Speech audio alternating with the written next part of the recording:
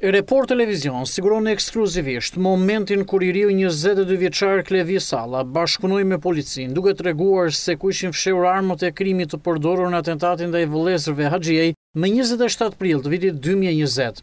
Është kjo foto ekskluzive ku me pranga në duar, i riu tregon me gisht vendin ku në kanal ishin hedhur tre kallashnikovët. Pas kësaj dëshmie kanë hyrë polumbarë dhe Forcat Speciale, të cilat kanë nxjerrë nga aty tre kallashnikovët që shihni në këtë foto.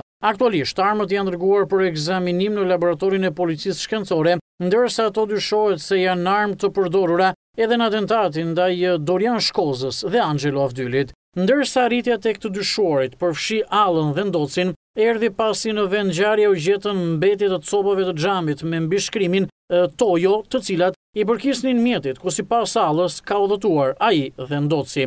Burime për Report Televizion bëjnë me dije se Klevis Alla ka bashkëpunuar me policinë duke hedhur dritë edhe për disa ngjarje kriminale, ndërsa po punohet për të faktuar deklarimet e tij edhe me prova, si në rastin e përfshirjes së bashkëpunëtorëve të Allës në grabitjen e Rinasit. Pas kësaj dëshmie, ai dhe familja e tij janë marrë në mbrojtjen e shtetit deri në përfundim të këtij hetimi.